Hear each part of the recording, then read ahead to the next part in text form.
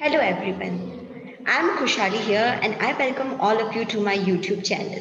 So friends, you all know very well કે આપણે જ્ઞાન સેતુ આ એક સિરીઝ સ્ટાર્ટ કરી છે તમે જાણો છો કે Gyan Setu is very important book for all of you કે જ્યારે આપણે અત્યારે ઓનલાઈન સ્ટડીઝ પર ભાર આપીએ છીએ ત્યારે આપણા બધા પાસે આ બુક ઓલરેડી આવી ગઈ છે આપણી પાસે એના વિડીયોઝ આવી રહ્યા છે તો જ્ઞાન સેતુની ફર્સ્ટ જે આપણે ડિસ્કશન આપણે કરી લીધું અને હવે આપણે આજે સેકન્ડ ડિસ્કશન સેકન્ડ ટોપિક તરફ આગળ વધી રહ્યા છીએ.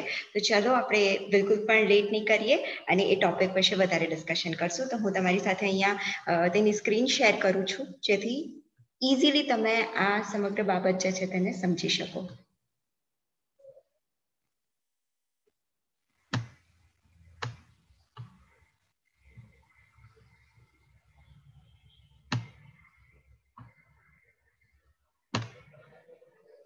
ઓકે, તો કાલે આપણે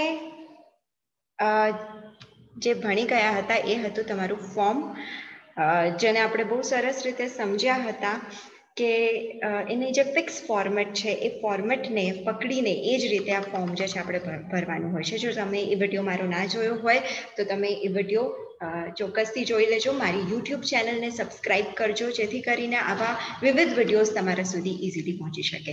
અને આજે એક નવું ટોપિક આપણે જે સ્ટાર્ટ કરીએ છીએ your second topic that is word games શબ્દોની રમત. આપણે કાલે જ જોયું કે વર્ડ એટલે કે શબ્દ, બરાબર?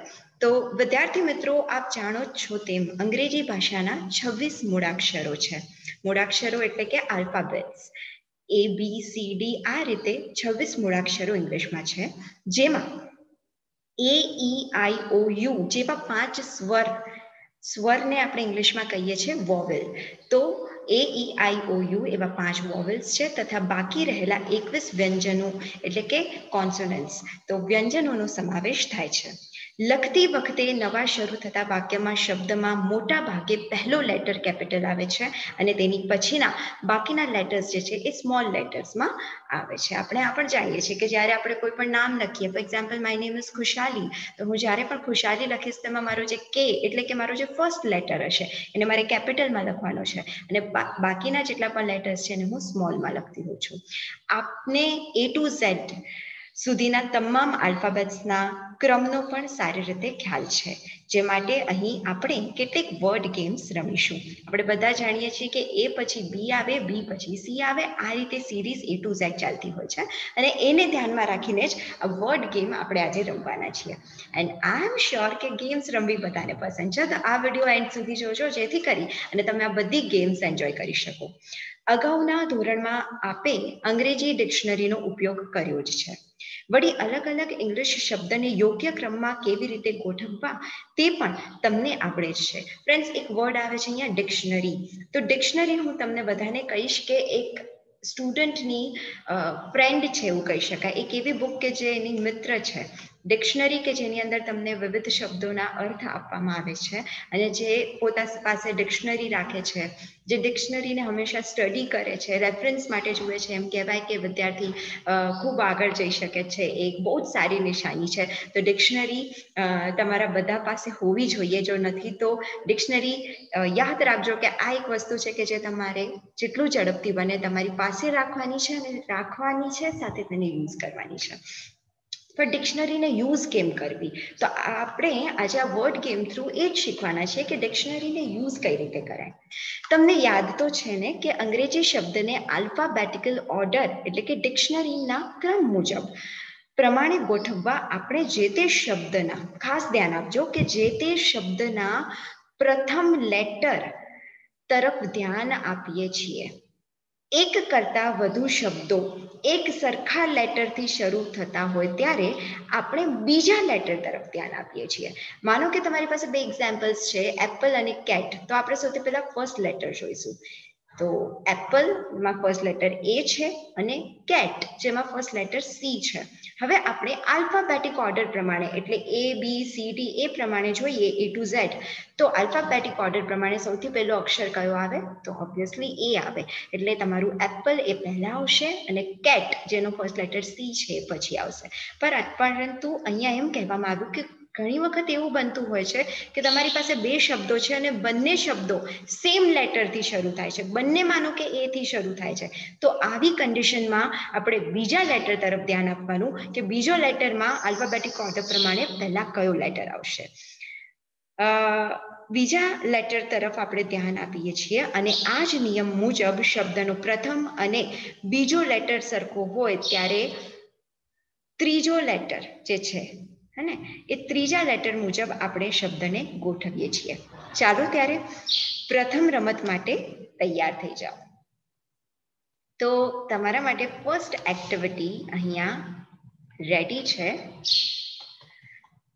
આપણે ડિસ્કસ કરીએ. સૌથી પહેલા શું લખેલું છે કે નીચે આપેલા શબ્દોને આલ્ફાબેટિક ઓર્ડર પ્રમાણે ગોઠવી અને ફરીથી લખો. તમને અહીંયા કેટલાક શબ્દો આપ્યા છે જેને તમારે આલ્ફાબેટિક ઓર્ડર પ્રમાણે પહેલાં કયો શબ્દ આવે, એના પછી કયો આવે, એ રીતે ગોઠવવાનું છે. તો શબ્દો છે જેમાં સૌથી પહેલાં છે કાવ ત્યારબાદ છે બ્લુ, ત્યારબાદ ઓરેન્જ, અને પછી એન્ડ અને the last one is friend. તો આપણે ચેક કરી લઈએ. તો સૌથી પહેલા આપણે એથી જો શરૂ કરીએ છીએ, તો એન્ટ શબ્દ, જેમાં સૌથી પહેલો જ લેટર એ છે, એટલે તમારો પહેલો વર્ડ અહીંયા આવશે એન્ટ ત્યારબાદ એ પછી આવે છે બી એટલે આપણે બીજો વર્ડ બ્લુ મૂકીશું. ત્યાર પછી એ બી પછી આવે સી એટલે તમારો થર્ડ વર્ડ હવે કાઉ થશે. આપણે હવે આગળ બોલી જઈએ. A B C D E F તો એફમાંથી આપણી પાસે એક લેટર છે, જે છે ફ્રેન્ડ તો તમારો કાવ પછીનો લેટર જે છે એ થશે ફ્રેન્ડ અને સૌથી લાસ્ટ જે બચે છે એ છે ઓરેન્જ. તો આ પ્રમાણે એ ટુ ઝેડ આપણે બોલતા જવાનું અને જે લેટર આવતો જાય એ લેટર આપણે મૂકતા જવાનું. આપણે એક ખાસ બાબત હું તમને અહીંયા બતાવીશ કે example number question number third જે છે, એમાં તમારી પાસે વર્ડ્સ છે પેન્સિલ પિકોક રેટ રાઉન્ડ અને બોલ તો તમે અહીંયા જોઈ શકો છો કે પેન્સિલ અને પિકોક બંને પીથી શરૂ થાય છે. તો તમને આ બંનેમાંથી કયો મૂકવો એવો પ્રશ્ન થાય?